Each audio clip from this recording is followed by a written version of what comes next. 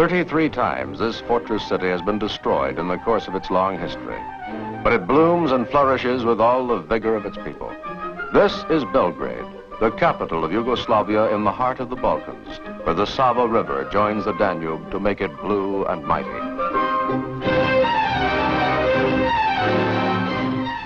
Belgrade's new air terminal, just a few hours from the USA by jet clipper.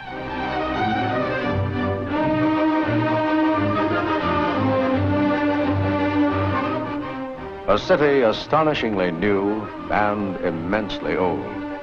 This was a town 500 years before the birth of Christ. Outdoor cafes suggest its leisurely pace. Tomorrow, says a national proverb, is wiser than today.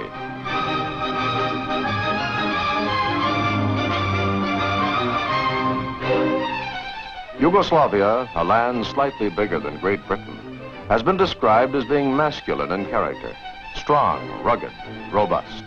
Still, there are plenty of pretty girls. And both men and women share a national love for learning. They hunger for the written word, be it verse or the daily paper.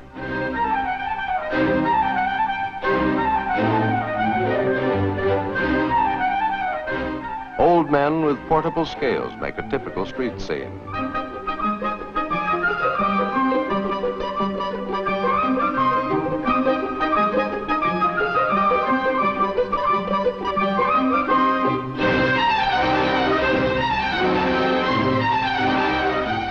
If any single plant might say Yugoslavia, it is the humble pepper, paprika they call it, red, orange, and green. You see them everywhere.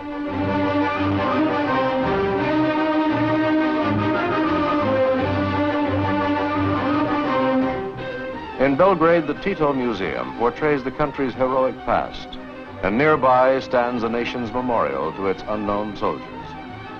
Yugoslavia proclaimed itself a nation in 1918. Its union of a half dozen kingdoms and territories made it at once the largest country in the Balkans.